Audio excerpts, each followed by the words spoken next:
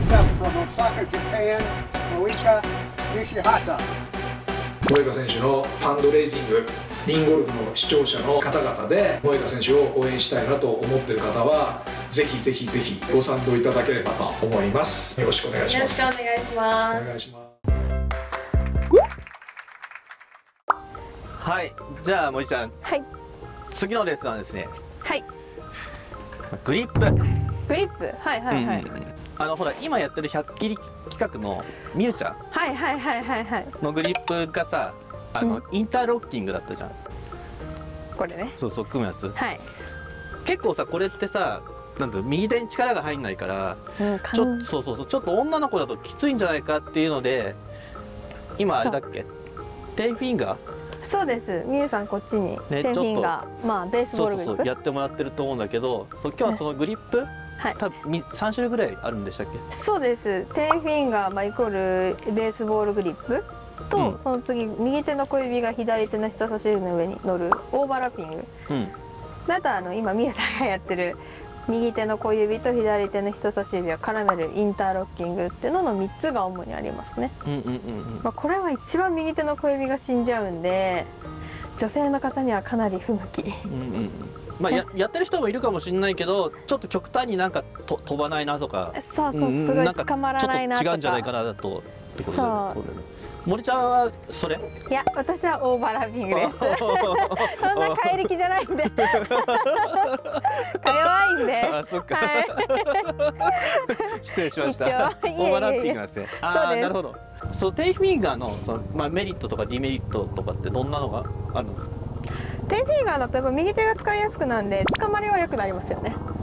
うんうん。返す動作がしやすくなるんで右手の力がある程度使える分捕まりは良くなっうんてくる。だから女性の方でこうオーバーラッピングとかインターロッキングして捕まんないなって人はテンフィンガーにするとある程度右に行きにくくなったりもしてくるっていう感じ。ただ右手がだんだん強くなってくるとこれが原因で引っ掛けとか CP になっちゃうんでそうなってきた時にオーバーラッピングとかインターロッキングにしてみてあげるっていう感じですかね。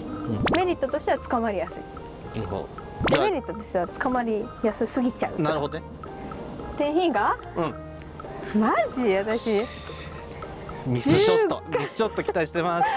テンフィンガーって私15年ぶりぐらいですよ。打つの。大丈夫か？よいし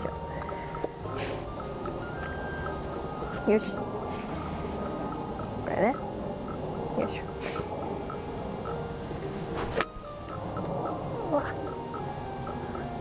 打てちゃってるし。な でもちょっと引っ掛けてるの分かります？うんわかるわかる。なんかすげえ捕まりが強いような気がする。そうそうそう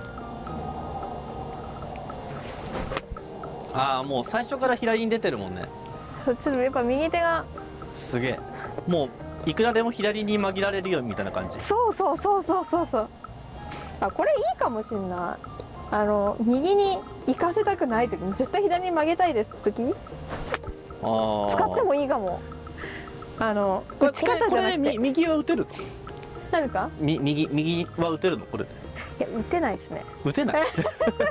あやあそのぐらいあれなんだ。普通に打っちゃうとやっぱそそれだけ右手力入りやすいっていう感じ？です。ちょっとややってみようよ。マジ？もう一発だけ。よし捕まってる？綺麗な綺麗なドローボールです。すいませんありがとうございます、はいいえいえいえ。じゃあ次はオーバーラッピング？あオーバーラッピンこグ。あのメリットとディメリットちょっと。とデメリット。うーんまあその人によるんですけどね。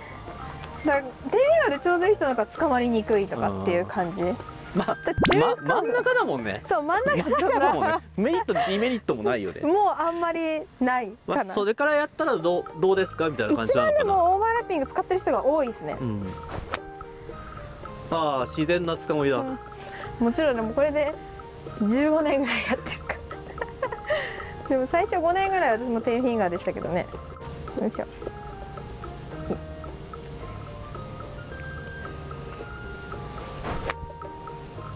うん。あちょっと抜けた？問題なのがインターロッキング？うんインターロッキングが結構きついよね。ちなみにまた最後ラスト。うん。まあなんかいつも通りっていついうものような感じ。さあ。じゃあインターロッキング。人生初かもしれん。これで打つのはこれね記憶の限りだとインターロッキングってタイガー・ウッズがあのもう若い時めっちゃ勝ってた時にあのすごいやっぱり表紙とかにも露出するんですよこのインターロッキングが。それでやっぱかっこいいじゃないですか。それですごい流行ったかなっていう感じが。それでなんか流行ったっていうのは、き聞いた話ですけど私よくわかんないですけど。タイガーの真似、うんうん。やっぱ憧れるもんね憧れ 確かに。かっこいいですもんね。うん。真似して。ちょっと変な感じ。ですよいしょ。うわ気持ち悪い。おちょっと待って待って。もう本当あれですね。捕まんないですね。手が帰んない。初めて打った。手が帰らない みえちゃんこれで打ってたんだよ。みえちゃん見てくださいこれ。私もなるわ。すげえ大変な道のり行ってたね。いやちょっと待って全部全然捕まんないんだけど、えー、すごい。本当にわざとじゃないのそれ？わざとじゃない。それちょっと捕まえてみてください。ちょっと待って。てかなんか全然手帰んないからなんかフォローが変な感じ。あいつものとこになんわかわかる。右手が完全になんかもう使えなんか使えないよね。なんかすごい露骨に出るかも私。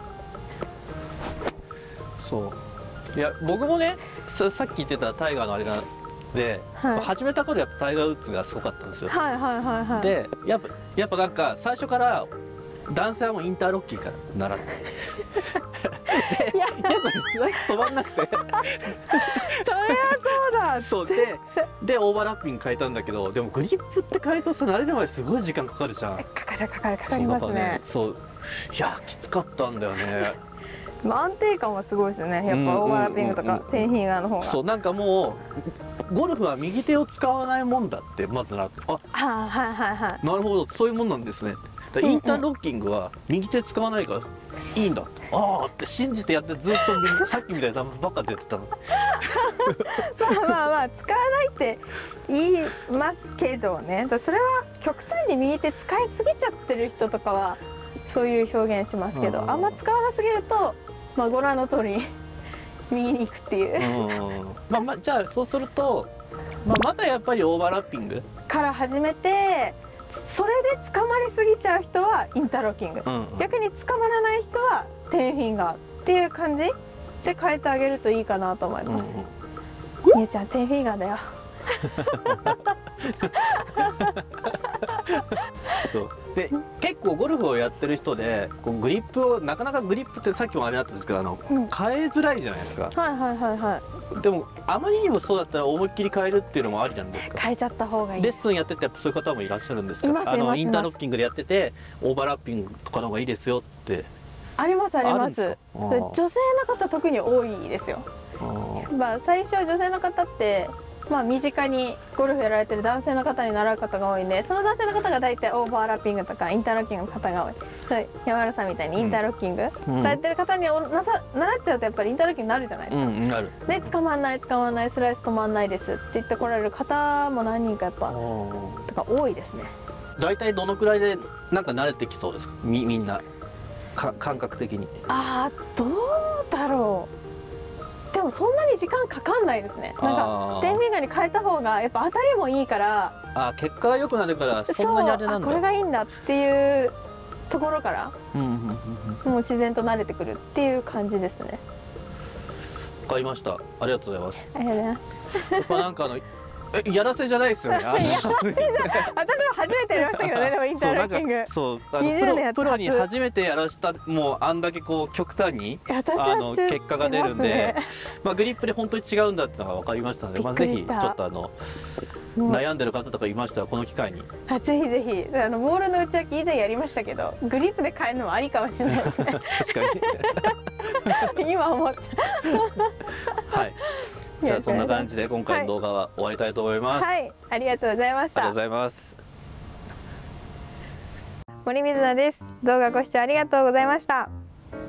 えーゴルフのお悩みや、まあ、こんなレッスンゴルフレッスン動画が見たいなどありましたらぜひコメント欄までお願いします、えーいいねやチャンネル登録もぜひよろしくお願いします。バイバーイ